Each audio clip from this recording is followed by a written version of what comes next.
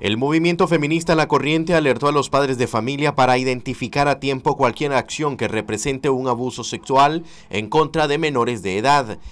El problema es que como está tan naturalizado, entonces no se toman las medidas de prevención, no hay una cultura de protección a la niñez y particularmente a las niñas, aunque ya sabemos que los niños también pueden ser víctimas de abuso sexual. ¿Cómo se puede detectar esto? Bueno, eh, la clave es conocer a nuestros niños, a nuestras niñas, saber cómo se están comportando, saber qué cambio ha habido en su comportamiento, saber eh, cómo reaccionan frente a la presencia, digamos, de determinadas personas en la familia y por supuesto este, poder identificar el trauma, porque el abuso sexual siempre va a dejar daños emocionales, daños psicológicos, además de los daños físicos, y esto se va a mostrar. Si tenemos una buena relación con los niños, con las niñas, vamos a identificar los cambios en su comportamiento.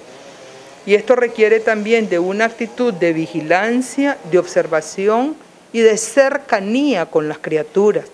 Explica que en el país hace falta una política de protección más integral de parte de autoridades estatales. Es un mal histórico en este país, es un mal endémico y, eso eh, requiere de un abordaje integral en las políticas públicas, pero también de una labor insistente en los medios de comunicación para poder generar, digamos, preocupación y para poder movilizar a las familias y a la, sociedad en general para proteger a las niñas y para prevenir el abuso sexual.